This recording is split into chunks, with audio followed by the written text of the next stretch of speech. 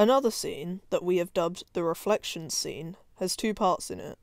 In the first part, Jameson will approach my character during a fit of terror that he is going through. During the fit of terror, my character rambles things like, they're gonna kill me, which is a reaction to the ritual scene in which he is told that his time is running out. Jameson sits next to my character and tries to comfort him, but my character reflexively moves away, saying, You're gonna kill me. Upon saying this, the lights turn red, which is the same colour as the lighting in a cult scene. The change in lighting represents my character's fight or flight response. He now sees Jameson's character as a threat to his life.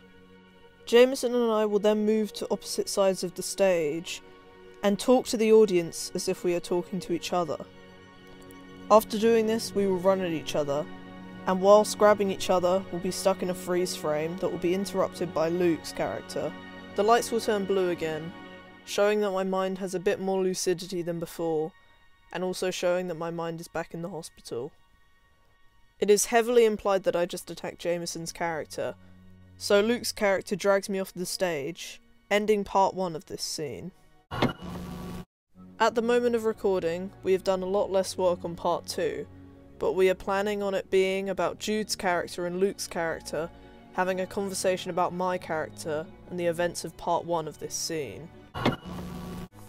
Another scene we have created is the monologue scene.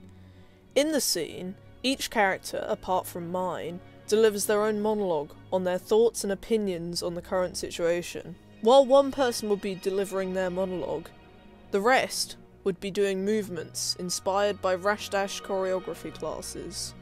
These movements are purposely repetitive, and in our case, show the relationships between characters.